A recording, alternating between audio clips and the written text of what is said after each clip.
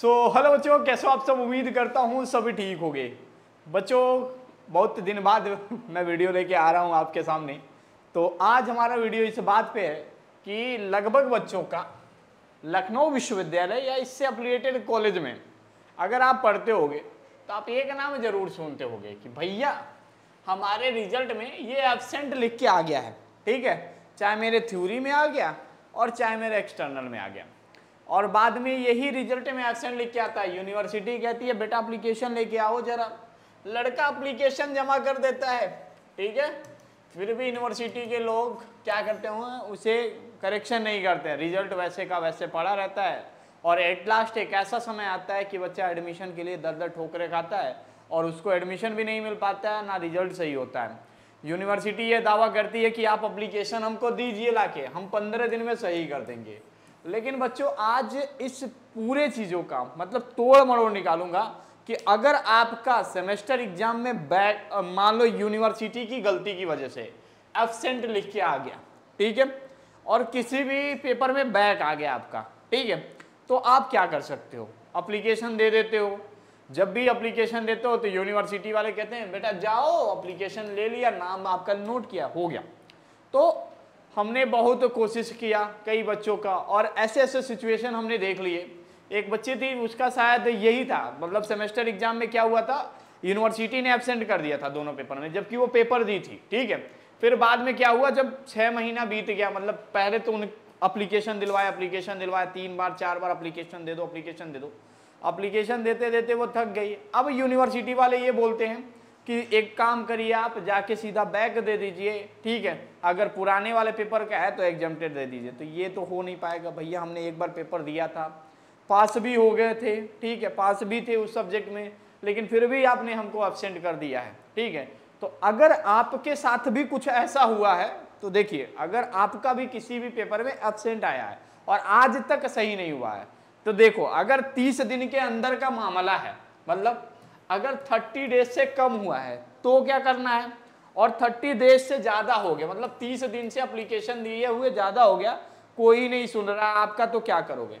देखो, अगर 30 डेज़ के अंदर का मामला है, जैसे मान लो बी ए फोर्थ सेमेस्टर का रिज़ल्ट आया, उसमें कई बच्चों का एबसेंट लगा बी कॉम का रिज़ल्ट आया, उसमें कई बच्चों का एबसेंट लगा, और अभी तक अप्लीकेशन दे दियो, सही नहीं हुआ तो क्या करोगे? सबसे पहले ये अप्लीकेशन लिखोगे यहाँ से, ठीक है? रिक्वेस्ट फॉर रस्टिफिकेशन एबसेंट तो यहाँ पे हमने चीज़ें लिखा है कि जैसे मान लो आपका किसी भी सब्जेक्ट में एबसेंट मार्क हो गया तो आप एलयू अपडेट की वेबसाइट पे आओगे और वहाँ से ये अप्लीकेशन उठा लोगे। पूरा ये मिल जाएगा आपको न्यूज़ कॉर्नर से।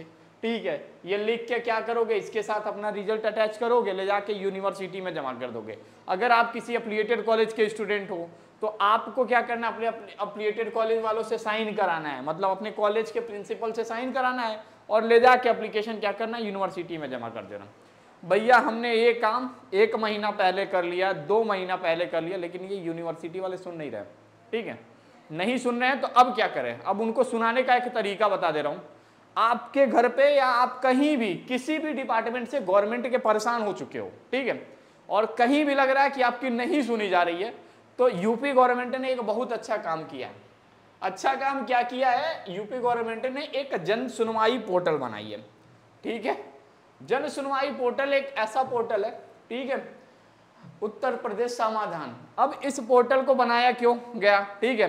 अब यहाँ पे क्या होता है कि चाहे वो आपके यूनिवर्सिटी लेवल की शिकायत हो, चाहे आपको किसी भी विभाग के किसी भी अधिकारी के लेवल की हो, ठीक है? घर पे आपको लोग परेशान कर रहे हैं या इधर उधर से आप परेशान हो, आपके कॉलेज वाले आपको परेशान कर रहे हैं तो आपको क्या करना है? यहाँ पे आपको एक सिंपल सा शिकायत पंजीकरण मतलब किसी भी साइबर कैफ़े वाले भैया के पास जाइएगा या इसका मोबाइल ऐप डाउनलोड कर लीजिएगा, ये आपसे खुद से हो जाएगा। शिकायत पंजीकरण वाले ऑप्शन में जाइएगा, ऑनलाइन शिकायत दर्ज कर दीजिएगा। ठीक है, ऐसे जाइएगा, सबमिट करिएगा, आपका फ़ोन नंबर या आधार कार्ड, यहाँ पे आपका फ़ोन नंबर मांगेगा, एक ओटीपी आएगा और पूछेगा कि आपका मामला किस डिपार्टमेंट से संबंधित है। उन चीज़ों को भरिएगा और डिटेल में मैटर लिखिएगा। फिर ये क्या करेगा, यहाँ पे आप कंप्लेन कर दोगे। जैसे मान लो इस पोर्टल पे आपने कंप्लेन कर दिया तो ये तीन दिन बाद आपके यूनिवर्सिटी से पूछेगा अच्छा ये बताइए, इस बच्चे को एबसेंट इस बच्चे ने अप्लीकेशन दिया है आपके यहाँ, तीस दिन हो गया, और अभी तक आप, आपने इसको सही क्यों नहीं किया? फिर यूनिवर्सिटी क्या करेगी? एक स्पेशल कॉपी निकालेगी आपके लिए मतलब एक, पूरा एक पेज का खर्रा आपके नाम से निकालेगी कि हमारी गलती है और हमने इस वजह से ये नहीं किया है, आप मुझे तीन दिन का टाइम दीजिए, मैं ये रिज़ल्ट सही कर दूँगा। और ऐसा हुआ है बच्चों, तभी मैं आपके सामने ये वीडियो बनाया हूँ। ठीक है? तो आपको क्या करना है? अगर आपका एबसेंट आया है तो आपको जन सुनवाई पोर्टल पे जाके कंप्लेन करना है, ठीक है? तो आप इस पोर्टल पे जाके कंप्लेन कर दो, ठीक है?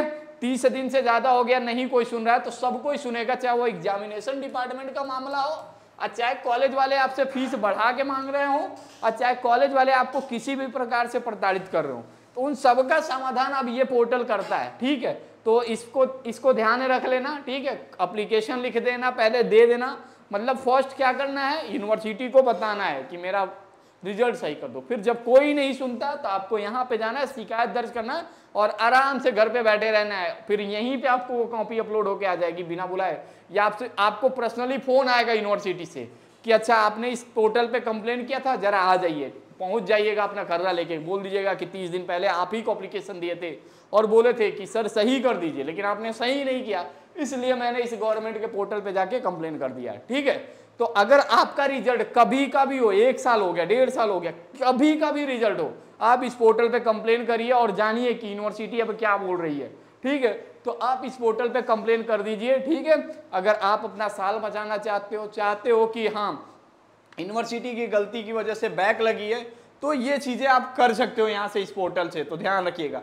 और हाँ ध्यान रखो, आपका सेमेस्टर एग्ज़ाम दिसंबर में होने वाला है। अब सेमेस्टर की भी तैयारी आपको करनी है, ठीक है? ताकि ये नौबत, ये दिन ना देखना पड़े कि आपका फिर से बैक आ जाए, ठीक है? तो इसके लिए आपको सिंपल सा एक काम करना है। गूगल प्ले स्टोर से आपको एल अपडेट का मोबाइल ऐप या एक काम कर सकते हो, आप L update mobile app download भी कर सकते हो या सिंपल सा एक काम कर सकते हो एल अपडेट की डायरेक्ट वेबसाइट पे आप चले जाओ ना। यहाँ पे एल अपडेट लिखना गूगल पे, ठीक है? लिख के होम एल अपडेट पे चले जाना और यहाँ से लॉगिन वाले ऑप्शन पे चले जाना, ठीक है? और यहाँ पे कोर्सेज पे क्लिक कर देना। ये सारे हमारे कोर्सेज आपको मिल जाएँगे B com B S C B A ठीक है? किसी भी कोर्स पे करके क्लिक कर लेना, ठीक है? जैसे मान लो आप बी कॉम का कोर्स ले लिया तो यहाँ पे हम बी एस सी का भी कोर्स ले लिया बी ए का कोर्स इन दोनों कोर्स में हम वीडियो क्लास आपको दे रहे हैं सब में। ठीक है?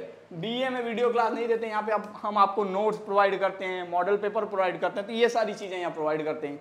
तो आप भी अपनी तैयारी शुरू कर दीजिए सेमेस्टर एग्ज़ाम की। दिसंबर में आपका परीक्षा होने वाला है। और हाँ रिज़ल्ट तो सही करा ही लीजिएगा कंप्लेन करके, ठीक है? लेकिन सेमेस्टर में अच्छे नंबर आने चाहिए और तैयारी ज़रूर कर लीजिएगा। Thank you so much